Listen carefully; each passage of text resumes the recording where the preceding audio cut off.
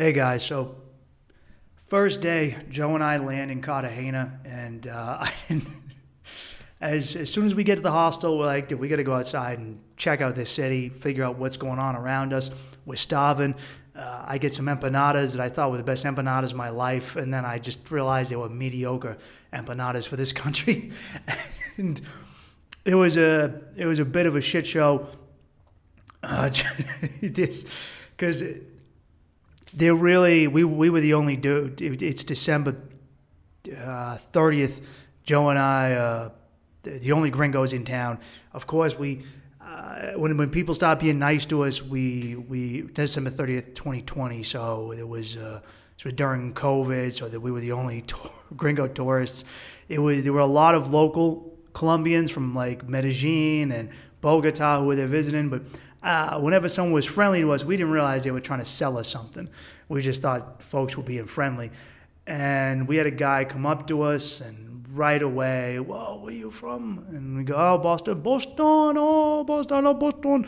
Uh, you want some cocaine? And I was like, it's like, nah, dude, I'm gonna have to pass on the cocaine. And he's like, come on, free sample. And I was like, what? Because he goes, you come in the bar in back, I, I give you a free sample. And I was like, I don't want to go into this bar. I don't know, it could be a group of guys in there. So we do our own thing. We walk away and we come back. Guy finds us again on the street. Oh, Boston, cocaine, free sample. And I was like, ah, oh, shit, man. Because when I was younger, like 10 years ago, I went to Amsterdam and I remember walking through the red light district and this African guy sees me and he's eating froyo. He's eating frozen yogurt and he just goes, what's up? And I go, hey. And he's like, you want some cocaine? And I go, up. I was like, maybe. I was like, I, I, do, but I, I was nervous. I didn't know, I don't know if I was going to get in trouble. And he goes, you want to, and I'm very hesitant. And I'm walking away and he goes, do you want a free sample?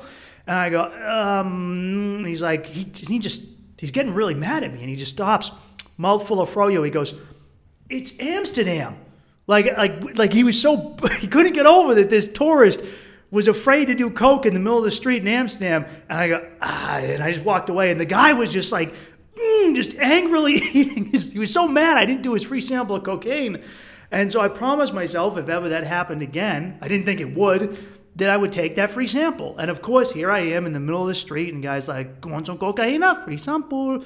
And I go, ah, okay. And he's like, okay, right here. And his friend comes up, and they pull some out, big, big chunk of the stuff, and start crunching it up on a piece he's looking for something. They pull out a piece of cardboard. They rip a piece of cardboard, and guy, I don't know. I didn't have. I wasn't filming now, dude. I was kind of nervous. This was before I, I got up my gumption to start filming. He he hands a piece of cardboard to his friend. They put it on. They crunch it, and he goes, "Okay." And they give me something. I think it was a dollar bill or something. I go, and I, I bust one out, and, he goes, "Okay." Uh, free sample. Now you pay me, and I go, "Whoa, whoa! What do you what do you mean, dude? This free sample. We, we, we went over this. This is a free sample. I did my free sample. You know, it's like you go to the food court, General Gao's free sample, free sample, and you know, I uh, no thanks. I have my free sample. I'm good.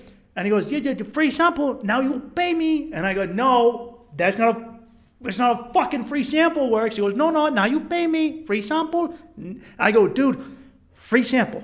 Free sample. Free sample. You said free sample, and now I, I, I get free he goes, see, free sample, but now you pay me. And then he opens up my sock and shoves a sack of coke in there. And I was like, all right, I'm not. Nope. And I, I and we have like this little fight where I'm taking it out of my sock and I'm putting it back. He's like, you take a free sample, free sample, no, you pay me. Shove.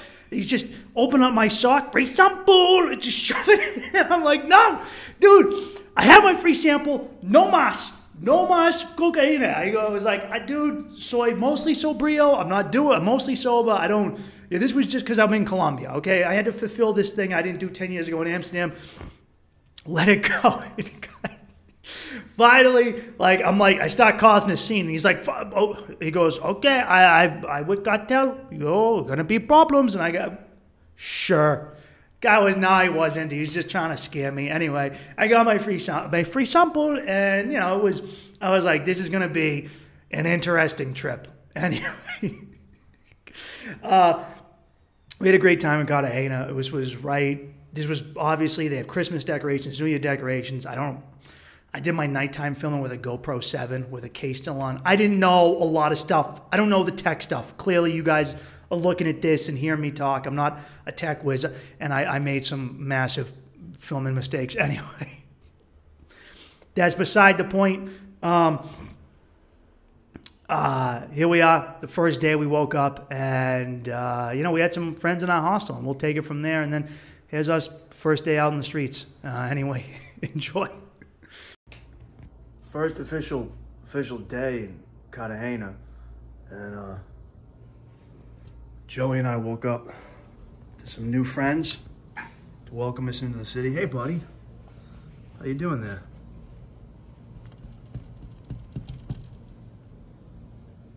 Oh, on the plus side, I think he's dead. Oh, he's still alive? Look at the size of his fucking antenna. I really hope you don't get in my bags, dude. Oh, he's alive. And I woke up. I woke up with someone in my bed. One of my one of the other hostel was was in between my legs. Yeah. What's up? Oh, you got some titties. I didn't notice that before. Excuse. I don't mean to ogle you, but clearly that's a that's that's a cat that's been a mom before, right? I'm, no, I'm just saying. No, no, I don't. No disrespect.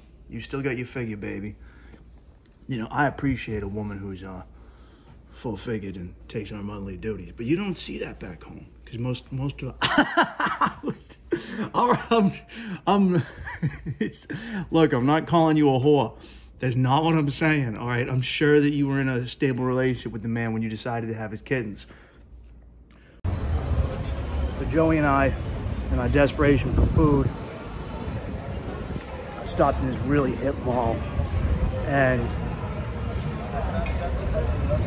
this dude walked in, right? And the two guys working there, uh, two gay men, two gay gentlemen, and uh, the guy walks in with a, with like a nice boner, right? Like like a, like at least a semi, for the pure minimum, and he's not hiding it, and he's wearing short shorts, and he walks up to the counter, and he rests it on the fucking counter, and I said, wow, this dude's just leaving it all out, right? Just going for it, man.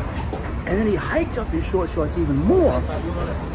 And I was like, oh, he's hitting on it. And he started talking to the dude at the counter, asking him questions, flirting with him. He was an American dude. And I go, dude, that's a, I gotta give him credit, man, for shooting his shot. That's the ballsiest fucking thing I have ever seen. I have, in all my years, never thought when I want to hit on a girl in customer service or the service industry, I never thought, hey, man, I'm just walk up, slap my dick right on the counter, and be like, what is it, baby? And he did it, man. And I was like, at first, I was like, this audacious, because he's walking around with his with his hot pecker in the in the coffee shop. But I was like, dude, Colombians are just uh, they're more free with their bodies, dude. I keep because because obviously it's hot, so ladies here, are. Don't know, man. They, they wear more because they they need to, and therefore they're more confident and touch themselves. In America, either have like New England Catholic women I grew up with were taught their body is shame and it's original sin to show even a little bit of it, or you have girls who twerk in the corner. There's not much of an in between. What you got here, Joe? We doing the wall? Yeah, I'm gonna. Uh, This is, uh, I wasn't videotaping for the first day and a half because uh, we were in a real shady area and Cartagena is beautiful and it's nice. But what I've realized is that uh, there's some real fucking, there's some real fucking hood areas, man. And because of the virus, the cruise ships aren't coming here.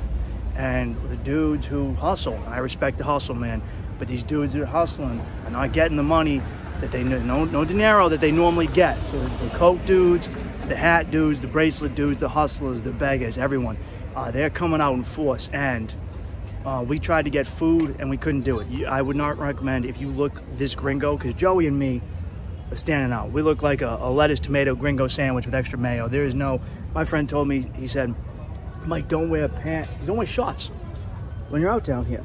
Wear pants, right? Because cause the, like, he's, the tourists wear shorts. And I go, dude, I'm a fucking ginger.